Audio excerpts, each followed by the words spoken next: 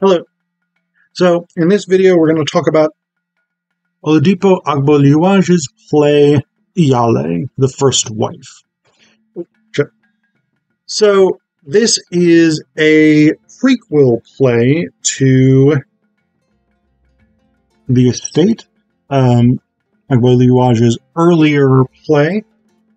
And this play kind of deals with the fall of um, Chief Adeyemi's first wife, Toyin. And, at the end at least, the rise of Helen, who is uh, his second wife, the wife in the estate. We do get some foreshadowing of this throughout the play. Um, Helen is uh, Toyin's house girl, um, female servant, basically. Um, but like in the estate, the servants have these ambitions to become wealthy, to marry well, to advance their station, whatever it is. Um, and so we get these couple of instances of foreshadowing of what's to come. Um, Helen, for instance, tells Pakima, who is her sort of fiance, the sort of on again, off again fiance. Uh, has got all these schemes to get money, and they tend to involve him getting conned and losing his cash.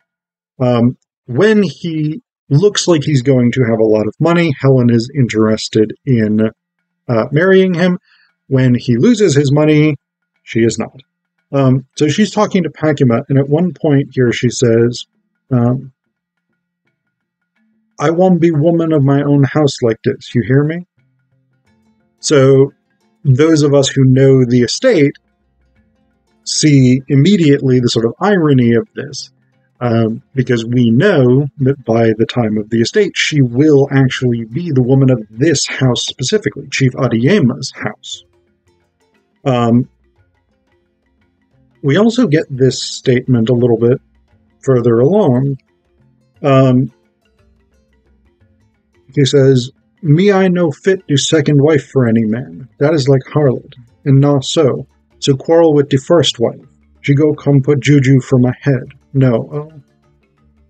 So, um, Afola- uh, Afolabi, who's another one of the, the servants, he's a gardener, um, is trying to convince her to marry somebody, um, become a second wife, basically.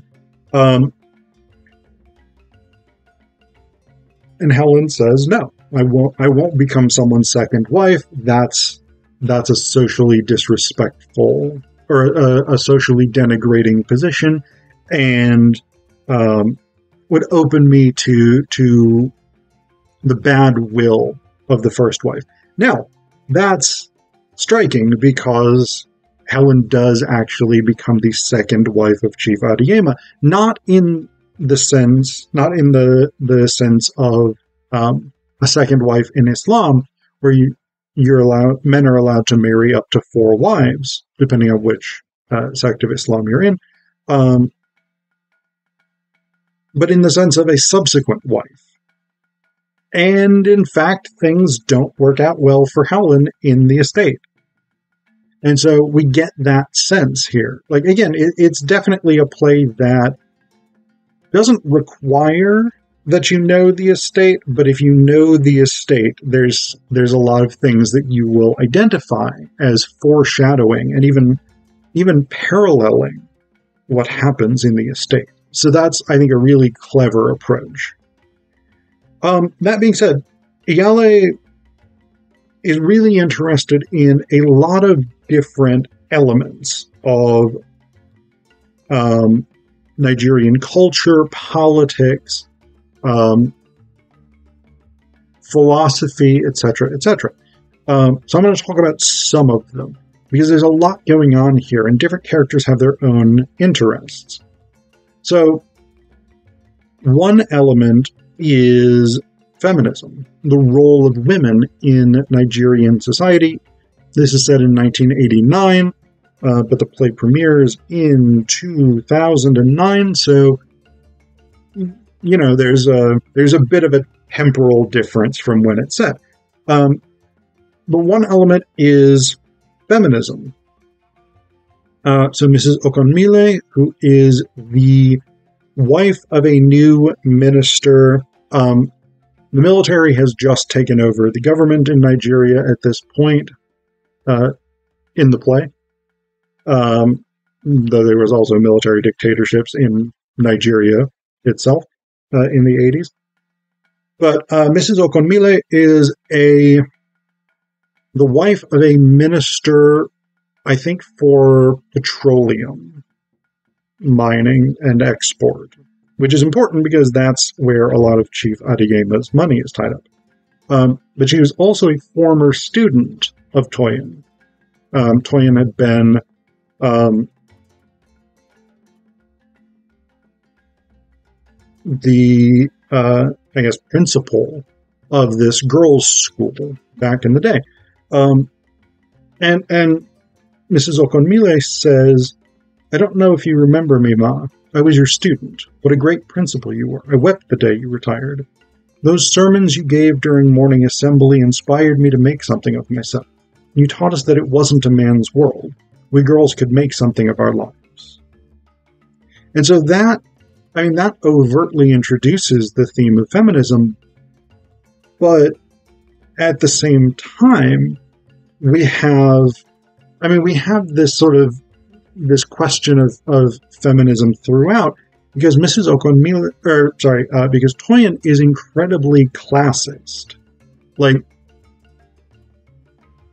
in the way that like white feminism in the U.S., the U.K., Western Europe, etc., etc., has tended historically to focus on the concerns of middle and upper class white women and have not been and has not been as interested in issues of poverty, um, in issues of um, race, ethnicity, religion, etc., etc. Toyin is very much focused on social class issues whereas some of the other characters are more interested in a kind of intersectional uh, liberatory movement. But this is 1989, so intersectionalism is not really a prominent way of looking at the world at this time. Um, but this classicism becomes really overt for the end of the play, um, when basically Toyin shames Mrs. Okonmile um, claiming that, that Mrs. Okonmile has slept with her husband. And she basically makes this public accusation of, of, of this. Um, and so Mrs. Okonmile says, in, in sort of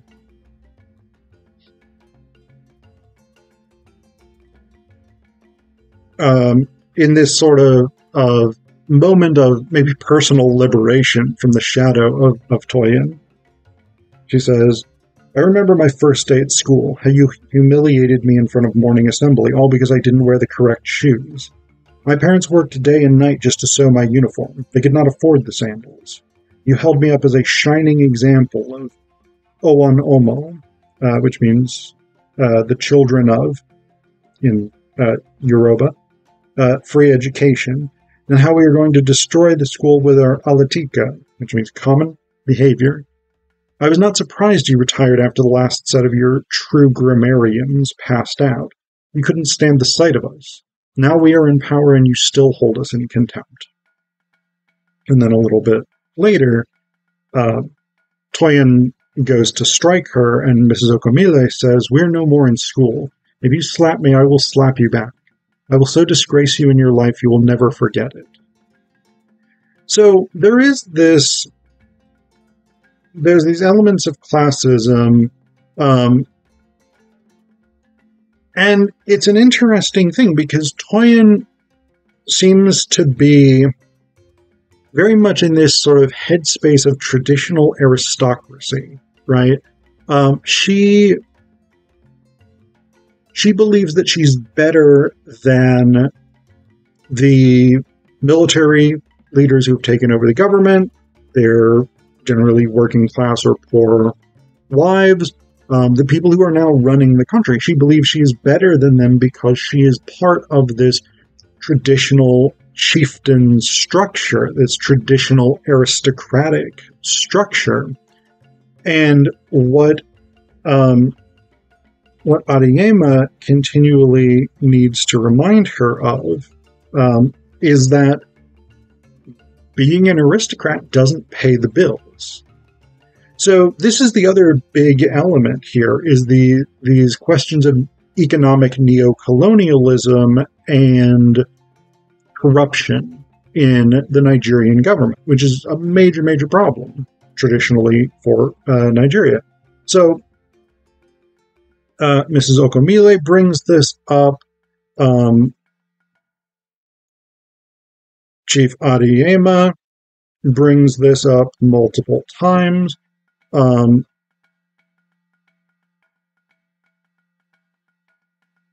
one of the times he he brings this up is actually in the context of governmental instability, which I think is a, a really important component of what uh, does in this play.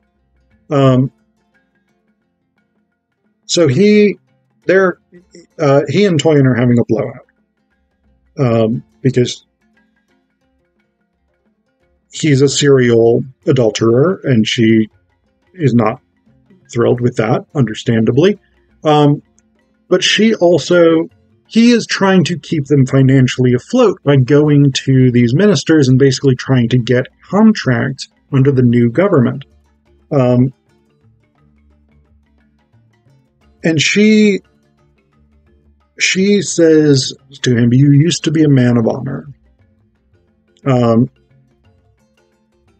and so what he says is, "You tell me. In fact, what does honor buy? Does it pay for your clothes? Does it maintain this house? Does it pay for the food?" And he grabs her arm and she says, "Let go of me." Um, and then he says, Or does it stop your son being transferred to another school on account of a small altercation? What does it pay for, Toyin? You act like a queen, but I'm the one who has to mind the business when the government launches a scheme today and closes it tomorrow. I have to spend forever coming and going from one office to another to get my money back. Then they bring out a similar scheme, only it goes by a different name. I sign a contract in the morning with a minister. In the afternoon, his replacement tears it up. Tell me if I can afford to be honorable so that I do not offend you. Tell me when I when I can have support in my own house for being pulled here and there by boys half my age. So th- there's the personal grievance here. Um, there's that element of like, oh, I'm I'm forced to continually run around and get these contracts, which are never stable or trustworthy, etc., etc. But there's a larger issue here of the problem of financial instability in 1980s and 90s Nigeria um, because of continual political changes and because of corruption in the government, etc., etc. Very difficult to to build a business and to sort of have stable have a stable economy because things constantly changed. Um, and, and so this is a, a big problem. The other element of this, uh, the other element that we get in in the play in terms of um, the financial situation of Nigeria is uh, Reverend uh, Archbishop Billy Robertson. Uh, Billy Robertson is the head of seems like kind of a televangelist type deal, um, a sort of mega church. Um, and he's really kind of an advocate for the gospel of wealth in a way. It's not quite the gospel of wealth necessarily, but it is that sort of televangelist sense that if I do God's work, then I should have a bunch of money, I should have fancy clothes, I should, etc., etc. Um, and Soji, who's um, and Toyin's youngest son, who's kind of a, a student radical. Uh, he confronts Robertson about this, and he, he, he asks um, about God. So why does he choose to reward you so richly when the majority of your flock are suffering? You're not blind to the tragedies that pass you on the street. You know better than the soldiers who keep us in bondage with their guns. You do it with false promises. You're nothing but a brother Jero. Um, and so this is the accusation. What so Robertson initially um, points out that Soji has never been poor. Robertson has, and so he has no moral authority to judge. But perhaps the more compelling case that Robertson makes um, is when he says, And how did your father make his money? Was it not on the back of import license? Even candles he brought in. Anyone who made products locally, he made sure he ruined that person. My father grew rice, but your kind treated it like it was poison. You ate only Uncle Ben's. This house, I bet you not one thing is made in this country, and you want to prove to me. Um, so this is, again, this is the the thing that's actually really striking here. Is on the one hand, Robertson is quite right. On the other hand, Soji is quite right. Um, Robertson does use his position as a um, as a religious leader, as someone promising spiritual salvation, in order to enrich himself. But at the same time, a good portion of the reason why so many Nigerians live in poverty is because the upper classes, those with access to wealth and power, disproportionately hoard it for themselves to the detriment of everyone else in the society. And while Soji does seem somewhat aware of this contradiction, it doesn't it doesn't seem to fully register for him how much his life and lifestyle results from the economic inequality that he so opposes.